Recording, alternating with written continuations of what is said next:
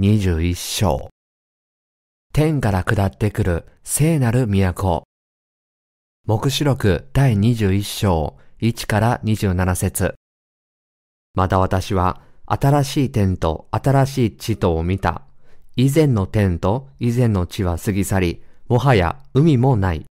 私はまた聖なる都、新しいエルサレムが夫のために飾られた花嫁のように整えられて、神の身元を出て天から下ってくるのを見た。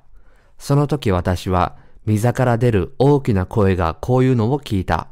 見よ、神の幕屋が人と共にある。神は彼らと共に住み、彼らはその民となる。また、神ご自身が彼らと共におられて、彼らの目の涙をすっかり拭い取ってくださる。もはや死もなく、悲しみ、叫び、苦しみもない。なぜなら、以前のものがもはや過ぎ去ったからである。すると、御座についておられる方が言われた。見よ、私はすべてを新しくする。また言われた。書き記せ。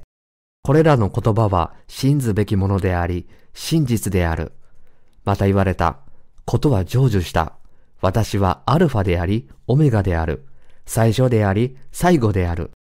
私は乾く者には命の水の泉から値なしに飲ませる。勝利を得る者はこれらのものを相続する。私は彼の神となり、彼は私の子となる。しかし、臆病者、不信仰の者、憎むべき者、人を殺す者、不貧困の者、魔術を行う者、偶像を拝む者、すべて偽りを言う者どもの受ける分は、火と硫黄との燃える池の中にある。これが第二の死である。また、最後の七つの災害の満ちているあの七つの鉢を持っていた七人の見つかりの一人が来た。彼は私に話してこう言った。ここに来なさい。私はあなたに子羊の妻である花嫁を見せましょう。そして、見つかいは御霊によって私を大きな高い山に連れて行って、聖なる都エルサレムが神の身元を出て天から下ってくるのを見せた。都には神の栄光があった。その輝きは高価な宝石に似ており、透き通った壁玉のようであった。都には大きな高い城壁と十二の門があって、それらの門には十二人の見つかいがおり、イスラエルの子らの十二部族の名が書いてあった。東に三つの門、北に三つの門、南に三つの門、西に三つの門があった。また、都の城壁には十二の土台石があり、それには子羊の十二使徒の十二の名が書いてあった。また、私と話していた者は、都とその門とその城壁とを測る金の測り座を持っていた。都は四角で、その長さと幅は同じである。彼がその竿で都を測ると、一万二千スタディオンあった。長さも幅も高さも同じである。また、彼がその城壁を測ると、人間の尺度で144ペーキュスあった。これが三つ替えの尺度でもあった。その城壁は壁玉で作られ、都は混じり気のないガラスに似た純金でできていた。都の城壁の土台石は、あらゆる宝石で飾られていた。第一の土台石は壁玉、第二はサファイア、第三は玉髄、第四は緑玉、第五は赤島目能、第六は赤目能、第七は機関乱石、第八は緑中石、第九は黄玉、第十は緑玉髄、第十一は青玉、第十二は紫髄章であった。また、十二の門は十二の真珠であった。どの門もそれぞれ一つの真珠からできていた。都の大通りは透き通ったガラスのような純金であった。私はこの都の中に神殿を見なかった。それは万物の支配者である神であられる主と子羊とが都の神殿だからである。都にはこれを照らす太陽も月もいらない。というのは神の栄光が都を照らし、子羊が都の明かりだからである。諸国の民が都の光によって歩み、地の王たちはその栄光を携えて都に来る。都の門は一日中決して閉じることがない。そこには夜がないからである。こうして人々は諸国の民の栄光と誉れとをそこに携えてくる。しかし、すべて汚れた者や憎むべきことと偽りとを行う者は決して都に入れない。子羊の命の書に名が書いてある者だけが入ることができる。釈義第一節また私は新しい天と新しい地とを見た。以前の天と以前の地は過ぎ去り、もはや海もない。この御言葉は第一の復活に預かった生徒に、主なる神が新しい天と新しい地を保ものとしてお与えになることを意味します。この瞬間から生徒は以前の天と以前の地ではなく、新しい第二の天と地に住むことになります。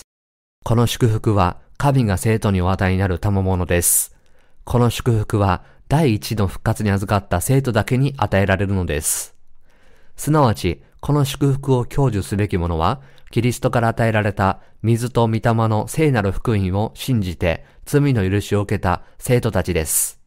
こうして私たちの主は生徒の花婿になられるのです。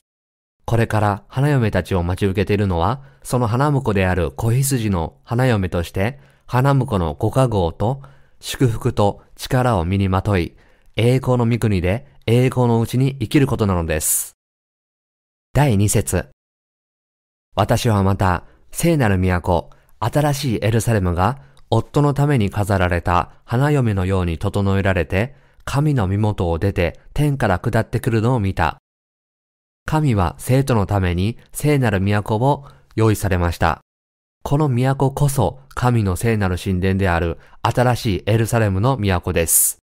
この神殿は純粋に神の生徒のために備えられているのです。そしてこれはすべて主なる神が宇宙を創造される以前から生徒のためにイエス・キリストのうちに計画されていたのです。それゆえ、生徒は主なる神の恵みの賜物に感謝し、その信仰をもってすべての栄光を神に捧げずにはいられないのです。第三節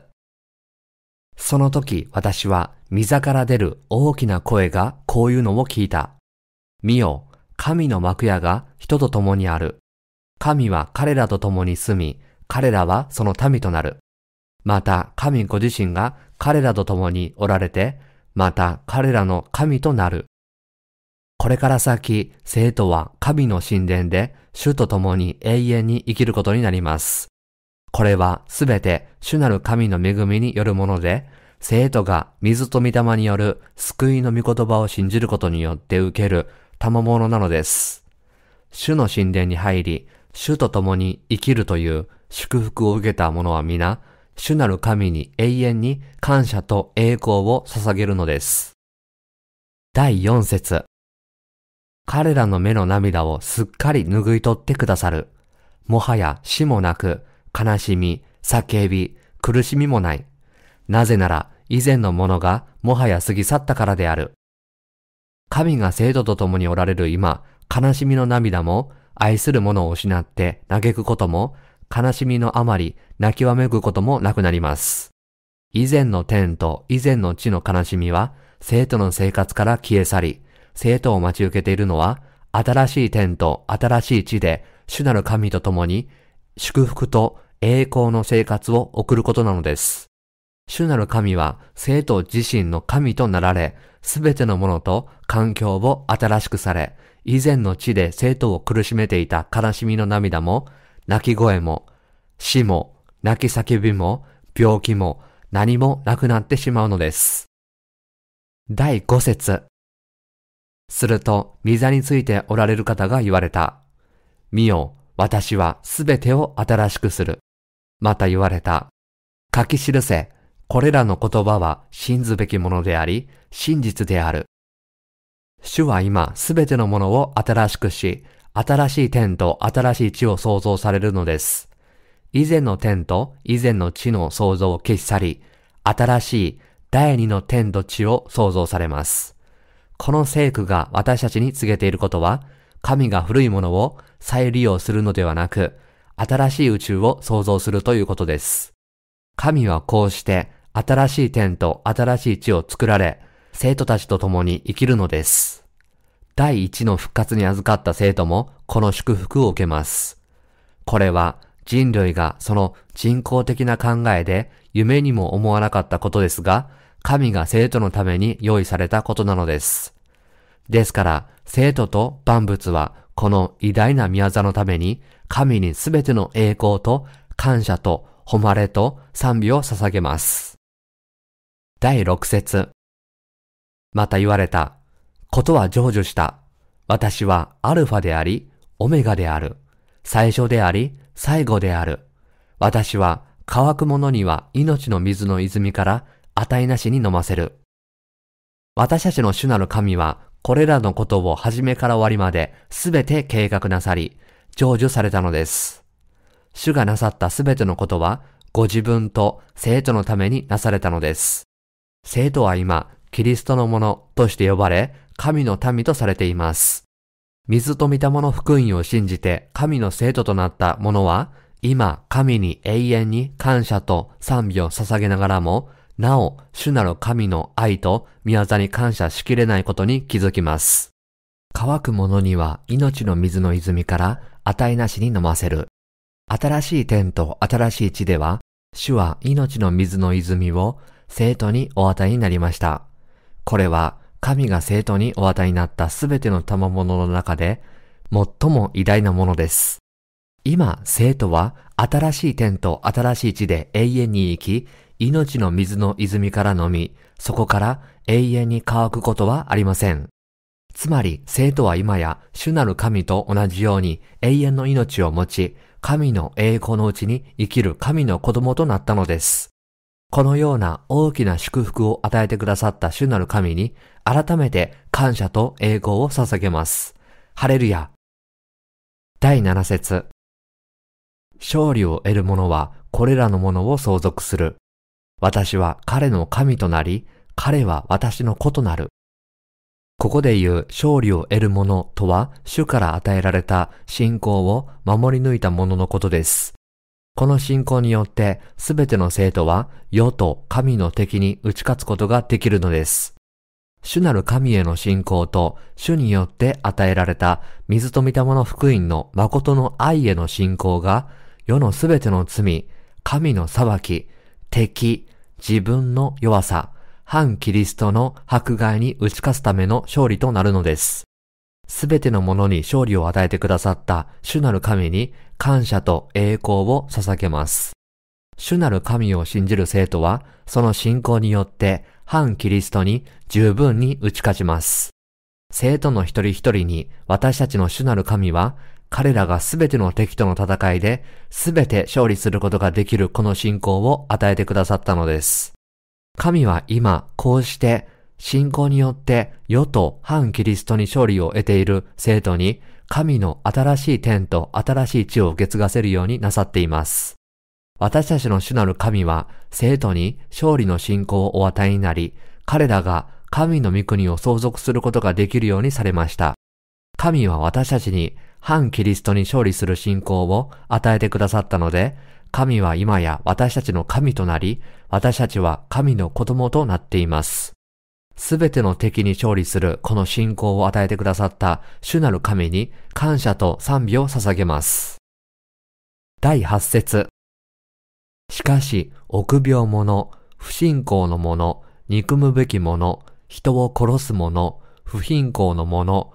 魔術を行う者、偶像を拝む者、すべて偽りを言う者どもの受ける分は、火と硫黄との燃える池の中にある。これが第二の死である。私たちの主なる神は、その本質において真理の神であり、愛の神です。では、神の前に根本的に臆病な人たちとは一体誰なのでしょうか？現在の中に生まれ、主から与えられた水と御霊の福音の御言葉で自分のすべての罪を清めていない人たちです。本質的に神よりも邪悪なものを拝んでいるので、明らかにサタンのしもべになっています。主なる神の前で悪を崇拝し、光よりも闇を愛して従っているからこそ、主なる神の前で臆病にならざるを得ないのです。神はその本質において光です。従って自ら闇であるこれらの人々が神を恐れるのは既成事実です。サタンに属する者の魂は闇を愛しているので、光である神の前では臆病になります。自分の邪悪と弱さを神にぶつけ、神から罪の許しを受けなければならないのはこのためです。私たちの主なる神の愛と水と御霊の福音を心の底から信じない不信仰の者は神の敵であり、神の前の最大の罪人なのです。彼らの魂は憎むべき者に属し、神に敵対し、あらゆる罪を愛し、罪を犯し、偽りの印に従い、あらゆる偶像を拝み、あらゆる嘘を話します。ですから、神の正しい裁きによって、彼らは皆、火と硫黄との燃える池に投げ込まれるのです。これが彼らの第二の死の罰です。神は、神の前に臆病な者、水と見た者福音の御言葉を信じない者、サタンのしもべになった者、憎むべき者に神の新しい天と新しい地をお許しになりません。その代わりに、主は彼ら全員、人を殺す者、不貧困の者、魔術を行う者、偶像を拝む者、すべて偽りを言う者を、火と硫黄との池に投げ込んで、主の永遠の罰だけをお許しになったのです。こうして神が彼らにお与えになる地獄は、彼らの第二の死です。第九節また、最後の七つの災害の満ちているあの七つの鉢を持っていた七人の見つかりの一人が来た。彼は私に話してこう言った。ここに来なさい。私はあなたに子羊の妻である花嫁を見せましょう。七つの鉢の災害の一つを持ってきた見つかりの一人がヨハネに、ここに来なさい。私はあなたに子羊の妻である花嫁を見せましょう。と言いました。ここで子羊の妻とはイエス・キリストから与えられた水と見たもの福音を心から信じてイエス・キリストの花嫁となった人々のことです。第10から11節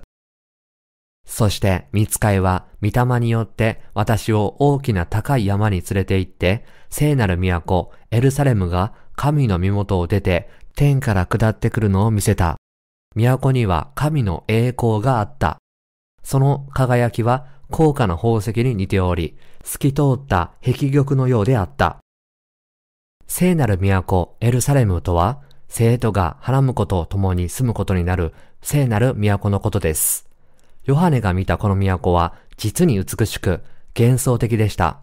その大きさは雄大で、内側は宝石で飾られ、清く住んでいました。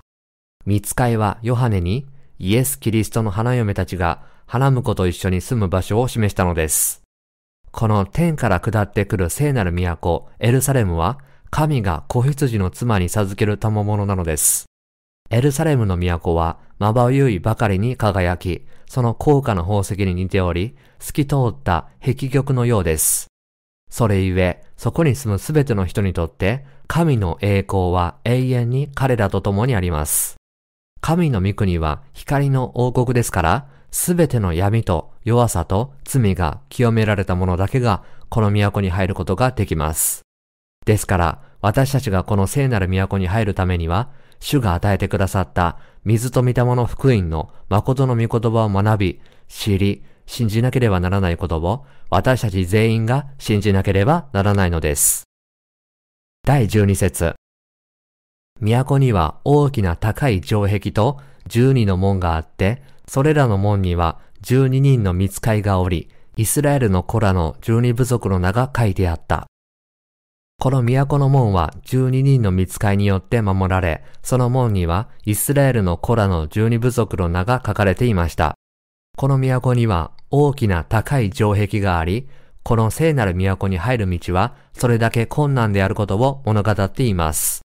つまり神の前に全ての罪から救われることは人間の努力や神の創造の世界の物質的なものでは不可能なのです。全ての罪から解放され、神の聖なる都に入るためには、イエスの十二弟子と同じ信仰、つまり、水と御霊の福音の真理を信じる信仰を持つことが絶対条件なのです。ですから、この水と御霊の福音を信じる信仰を持たない者は、この聖なる都に入ることは決してできません。そのため、主なる神によって任命された12人の見つかいがその門を守っているのです。一方、名が書いてあったという表現は、この都の所有者がすでに決まっていることを物語っています。なぜなら、この都は神の民のものであり、神の子供となった者たちのものだからです。第13節東に三つの門、北に三つの門、南に三つの門、西に三つの門があった。都の東に三つの門が置かれたように、北、南、西にもそれぞれ三つの門が置かれました。これは、水と御霊の福音を心から信じて、罪の許しを受けている者だけが、この都に入ることができるということを示しています。第14節また、都の城壁には十二の土台石があり、それには子羊の十二使徒の十二の名が書いてあった。巨大な岩はビルや建物の土台によく使われます。聖書で岩という言葉は私たちの主なる神への信仰を指す言葉として使われています。この聖句は主なる神の聖なる都に入るためには神が人類にお与えになった信仰、すなわちすべての罪からの完全な贖いを信じる信仰を持たなければならないと教えているのです。生徒の信仰は聖なる都の宝石よりも尊いものです。聖書はここで都の城壁には十二の土台石があり、それには子羊の十二使徒の十二の名が書いてあったことを教えています。これは神の都はイエス・キリストの十二使徒が持っていたのと同じ信仰を持つ者だけに許されることを物語っています。第15節また、私と話していた者は、都とその門とその城壁等を測る金の測り竿を持っていた。この御言葉は、神の建てられた都に入るためには、神に認められた信仰、つまり罪の許しを得るための信仰を持たなければならないことを意味します。ヨハネに語りかけた見つかいは、都を測るための金の測り竿を持っていたとあります。つまり、水と御霊の福音のうちに、主がこれらの祝福をすべて与えてくださったことを信じなければならないのです。信仰は望んでいる事柄を保証する。ヘブル人への手紙第11章1節ように、神は私たちに聖なる都と新しい天と新しい地を私たちが望んでいたものよりもさらに大きなものを確かに与えてくださったのです。第16節都は四角で、その長さと幅は同じである。彼がその竿で都を測ると、1万2000スタディオンあった。長さも幅も高さも同じである。都はその長さも幅も高さも同じになるように正方形に整えられていました。このことは私たちは皆水と御霊の福音を信じて神の民として新しく生まれるという信仰を持たなければならないことを教えています。実は主はこの水と御霊の福音を正確に信じない者が神の御国に入ることをお許しにならないのです。たとえ罪があってもキリスト教徒であるだけで聖なる都に入れるというような漠然とした考えを持っている人が大勢います。しかし、主は罪からの救いと精霊をお与えになり、この地上でのバプテスマと十字架での血によって全ての罪を許されたという真理を信じる者だけを神の民としておられるのです。これこそ主が私たちに求めておられる信仰です。第17節また、彼がその城壁を測ると、人間の尺度で144ペーキュスあった。これが見つかいの尺度でもあった。聖書で4という数字が意味するのは苦しみです。主が私たちに要求される信仰は誰でも持てるものではなく、たとえ自分の考えで完全に理解できなくても、神の御言葉を受け入れる者だけが、この信仰を持つことができるのです。キリスト教徒としてイエスの十字架を信じ、主が神であり、救い主であることを信じるだけでは、神の聖なる都に入ることはできないのです。ヨハネの福音書第3章5節で、主が、誠に誠にあなたに告げます。人は水と御霊によって生まれなければ、神の国に入ることができません。とおっしゃった意味がわかりますか？主がこの地上に来られ、ヨハネからバプテスモを受けられ、世の罪を十字架に運ばれ、十字架で血を流されたことの意味をご存知ですか？もしこの質問に答えられるなら、私がここで言っていることが理解できるはずです。第18節その城壁は壁玉で作られ、都は混じり気のないガラスに似た純金でできていた。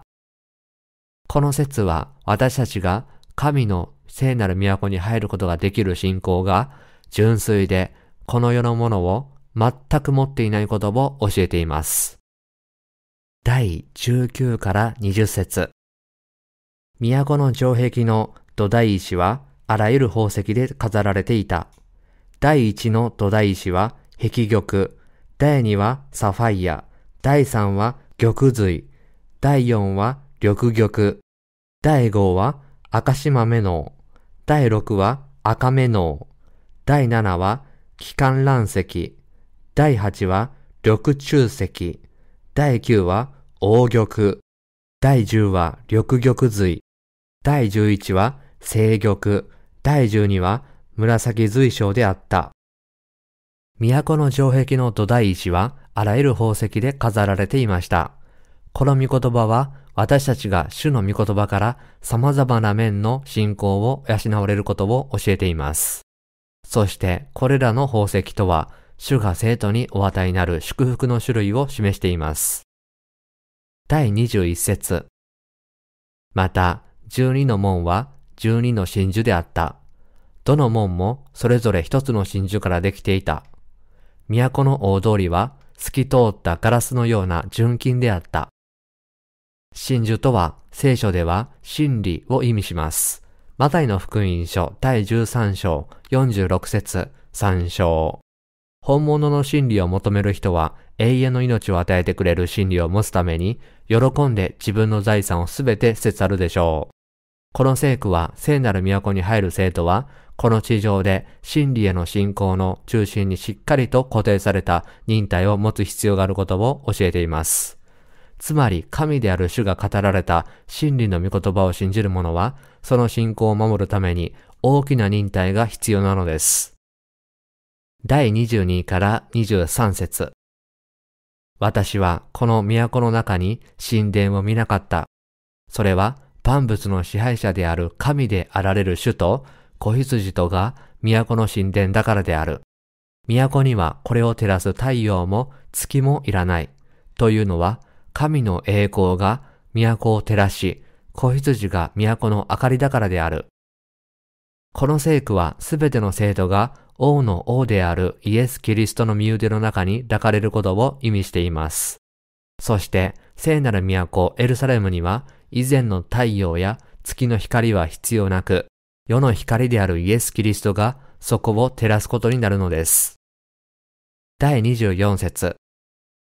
諸国の民が都の光によって歩み、地の王たちはその栄光を携えて都に来る。